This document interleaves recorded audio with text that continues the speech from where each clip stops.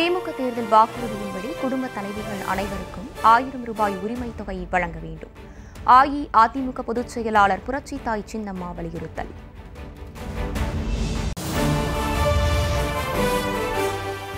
அனைத்து மகளிருக்கும் உரிமை தொகை வழங்கப்படும் என வாக்குறுதி கொடுத்து ஆட்சியில் அமர்ந்த திமுக அரசு தற்போது அந்தர்பல் டீ அடித்துள்ளது. அஇஅதிமுக பொதுச் செயலாளர் புரட்சி தாய் சின்னம்மா விமர்சனம்.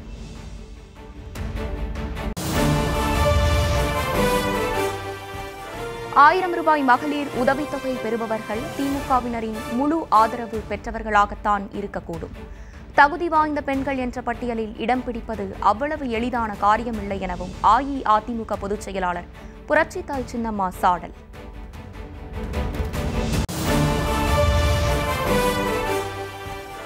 திமுக ஆட்சிக்கு வந்த பிறகு முதியோர் உதவித்தொகை கிடைப்பதில்லை என அஇஅதிமுக பொதுச் செயலாளர் புரட்சித்தாய் சின்னம்மா குற்றச்சாட்டு.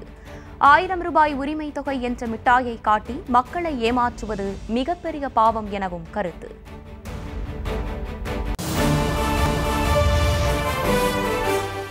மோசமான வானிலையால் அமர்நாத் யாத்திரை நிறுத்தம்.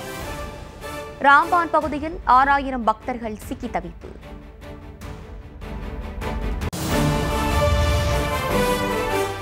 மதுரை திருச்சி உள்பட ஒன்பது மாவட்ட உயர் அதிகாரிகளுடன் டிஜிபி ஆலோசனை. மன அழுத்தம் போக்கும் நடவடிக்கையில் டிஜிபி சங்கர் ஜிவால் தீவிரம்.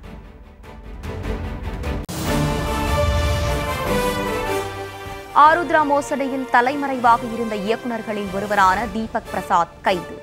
சென்னை போரூரில் பதுங்கியிருந்தவரை சுற்றி வளைத்த பொருளாதார குற்றப்பிரிவு போலீசார்.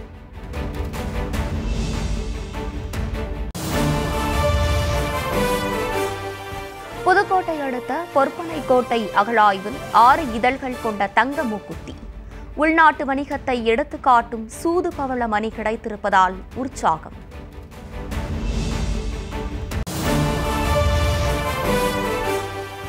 மயிலாடுதுறையில் சைவ உணவகத்தில் கர்ப்பிணி சாப்பிட்ட வடையில் பொறிந்திருந்த பள்ளி.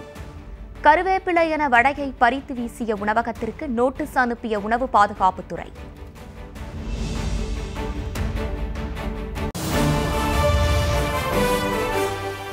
நான்கு கோடி ரூபாய் மோசடி செய்த தனியார் நிதி நிறுவன அதிபர் கைது.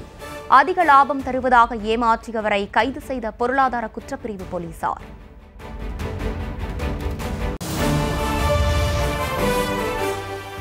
மாதவிடாய் பெண்களை ஊருக்கு வெளியே வைத்து சாலையில் உணவு வழங்கும் கொடூரம். பாக்குமட்டை தட்டு மற்றும் தனிக்குவளையில் உணவு என நாமக்கல்லில் நடக்கும் நவீன கால வன்கொடுமை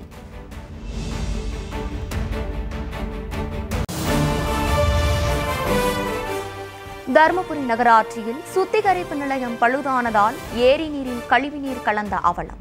கடந்த ஆறு மாதமாக பழுதடைந்து கிடக்கும் காந்திபாளையம் சுத்திகரிப்பு நிலையத்தால் மாசு.